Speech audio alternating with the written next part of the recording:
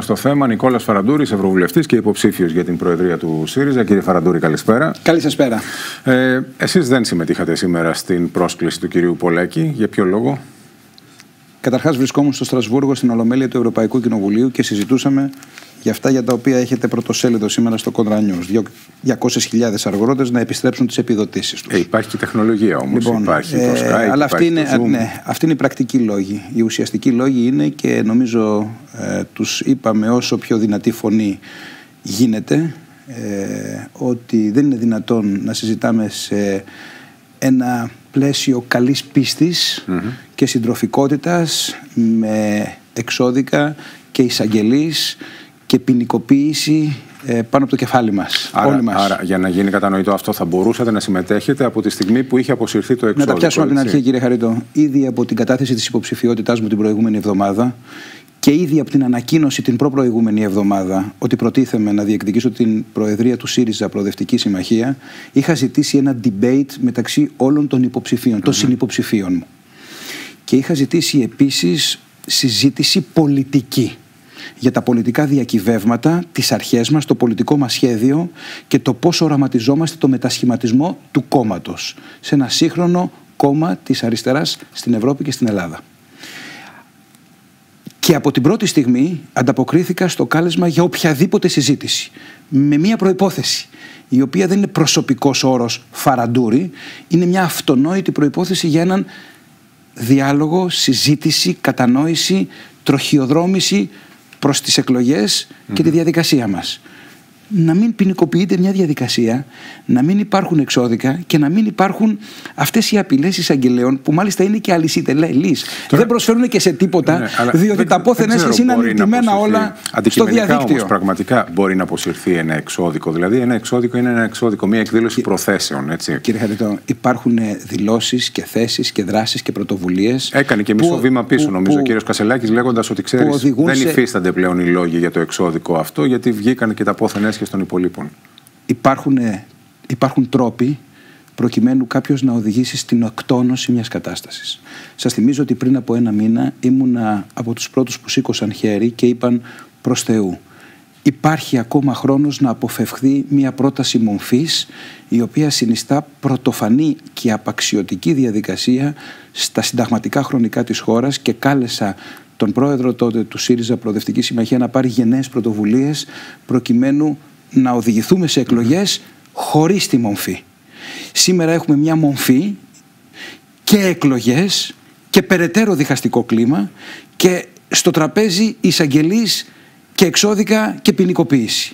Κύριε Και δήλωσα, Φαραντούρη. χθες, και δήλωσα χθες ότι η πολιτική αντιπαράθεση πρέπει να γίνεται πολιτικά. Όταν υπησέρχονται ποινικές διαστάσεις, είναι ο ασφαλέστερος δρόμος για τον εκφυλισμό της πολιτικής. Μπορεί Αυτό να δεν είναι- μπορώ να το νομιμοποιήσω μπορεί να είναι με καμία κάποιος- δική μου παρουσία. Μπορεί να είναι κάποιος υποψήφιος που έχει στείλει εξώδικο ε, στα όργανα του κόμματος.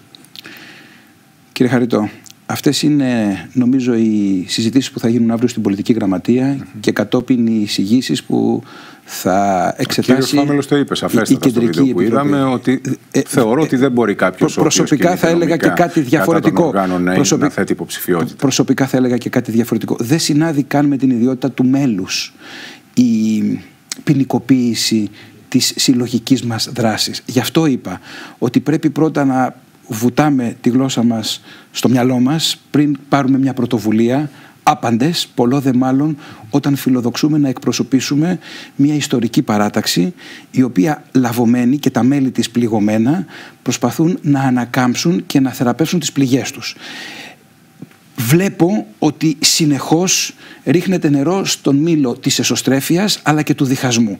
Και τα τελευταία γεγονότα προφανώς όχι μόνο δεν διευκολύνουν, παροξύνουν την κατάσταση. Εγώ λοιπόν προσπαθώ να μιλήσω πολιτικά. Προσπαθώ να μιλήσω για τα προβλήματα των αγροτών, τα πρωτοσέλιδά σας. Προσπαθώ να μιλήσω για τα προβλήματα της νεολαίας, της επιχειρηματικότητας, τα καρτέλ. Αυτά που συζητήσαμε προχθές στην Ολομέλεια του Ευρωπαϊκού Κοινοβουλίου και συζητάμε και στο Ελληνικό Κοινοβούλιο με τις προτάσεις που καταθέσαμε για τη στέγαση και για τη λειτουργία της αγοράς.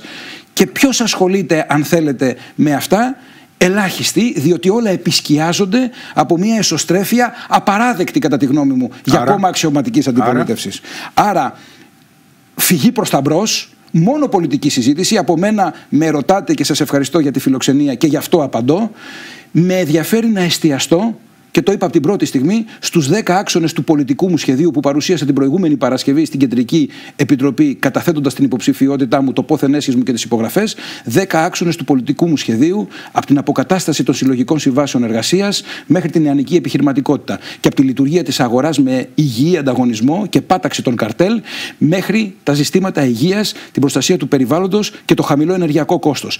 Να μιλήσουμε επιτέλους πώς οραματιζόμαστε μια σύγχρονη προοδευτική δημοκρατία παράταξη στον τόπο μας και κάτι άλλο. Υπάρχει μια συζήτηση αυτή τη στιγμή γύρω από το μέλλον των προοδευτικών δημοκρατικών δυνάμεων. Την Κυριακή έχουμε τις επαναληπτικές εκλογές στο Πασόκ. Mm-hmm. Αυτός ο χώρος, προοδευτικές δημοκρατικές δυνάμεις ή κεντροαριστερά, πέστε το πώς θέλετε για να συνεννοούμαστε, βρίσκεται σε ανακατατάξεις. Ποιος είναι ο ρόλος του ΣΥΡΙΖΑ; Εγώ θέλω να μιλήσω για το ρόλο του ΣΥΡΙΖΑ.